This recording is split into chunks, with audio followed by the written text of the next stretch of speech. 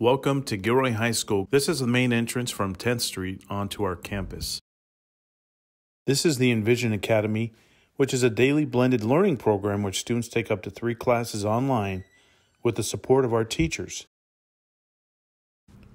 As you walk through the gates, you'll come to the A building on your left, which is the administration building.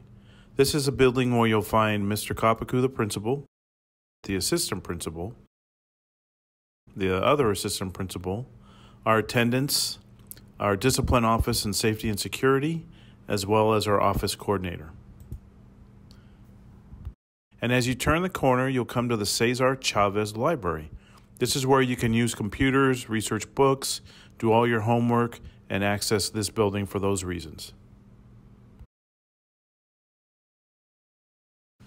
To your left, you'll see the foreign language or B building. This is where our Spanish, French classes, most of them anyways, will take place.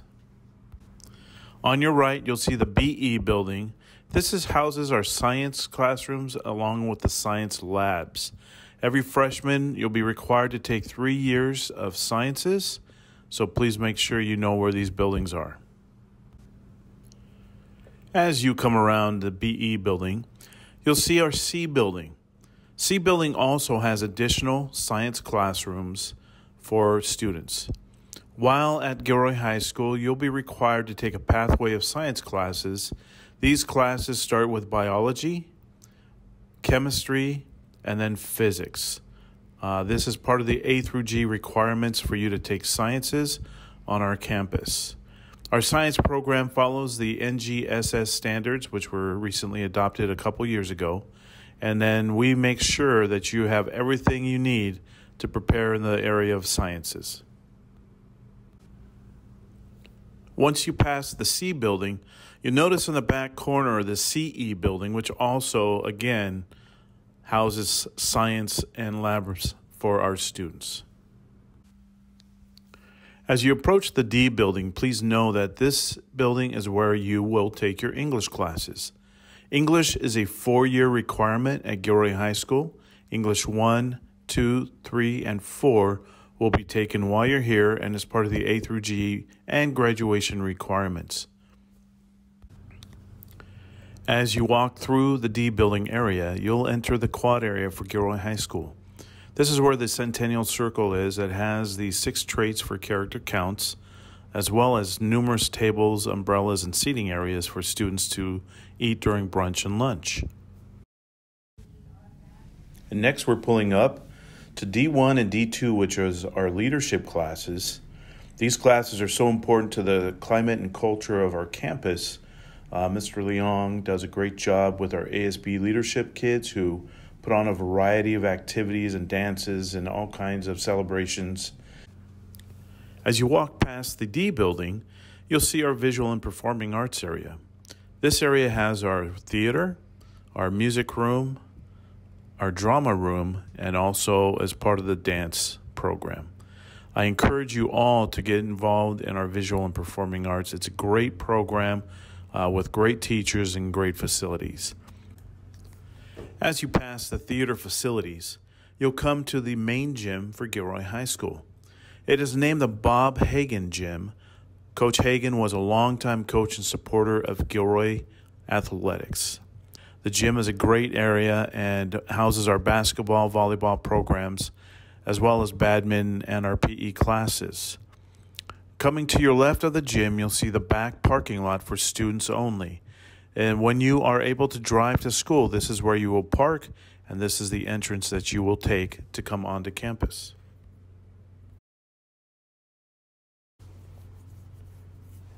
As you continue down the path on the right hand side, you'll see the entrance doors for the boys' locker room.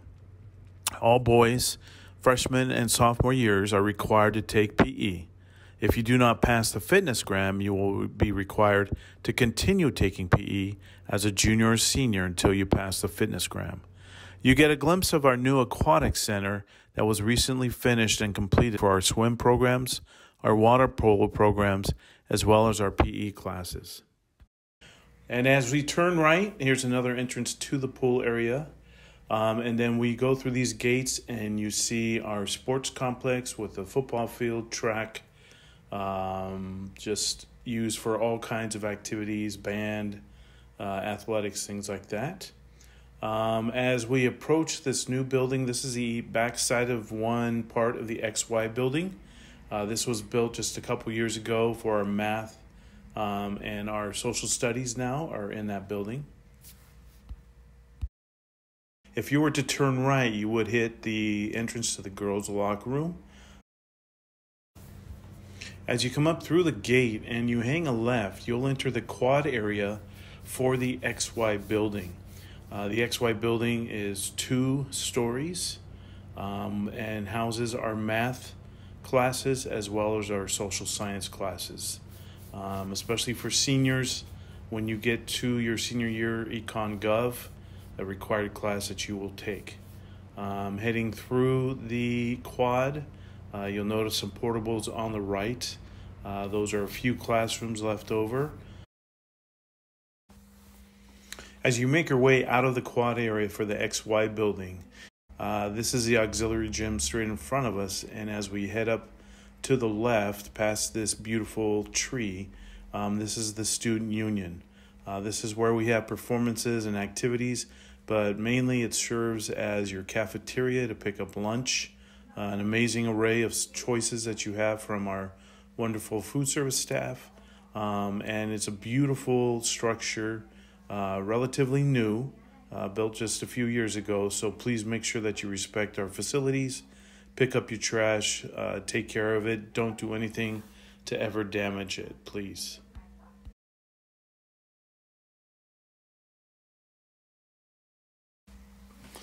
Uh, moving away from the student union, uh, we are going to come up on Centennial Circle. Centennial Circle is the main thoroughfare for our campus.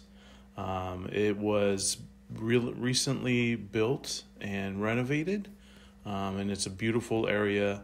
Um, this is an area where students will hang out during lunch and brunch, um, and also use to uh, walk to their classes. Uh, as well as our lunch and brunch crowd, uh, this is where many of our fun and exciting activities from our ASB leadership group take place. Um, and you'll notice that on the ground are the six pillars of character counts um, that many of you have experienced since you were in elementary school. Um, character counts is always practiced on Gilroy High School as a Mustang. Always respect, always responsibility, fairness. Make sure that you're doing a great job, exhibiting great citizenship. So make sure that you treat that with respect. As we exit Centennial Circle, this is the H building. Uh, H building houses are some of our science classes and electives also. Um, and then you'll be coming on to the other side of the student union. Uh, there are many entrances, many doors um, to access the student union. Um, that is the front, considered the front of the student union. This is our ASB office. When you need to pay for dances or ASB cards, that's where you'll go. Uh, any kind of um, expenditures for school. And then this is the entrance to the student services, um, where you'll have access to your academic coordinators um, and any other kind of student business. Um, you just go in there, talk to the lovely lady Myra, who can point you in the right direction. As we come to this fence, you'll see our softball and baseball fields as well as our grass area.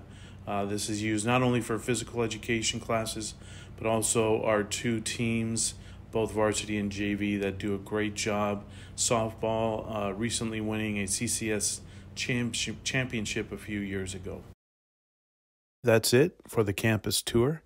I hope you enjoyed seeing all the facilities that are waiting for you when you arrive here on campus in the fall. Till then, take care and we'll see you soon.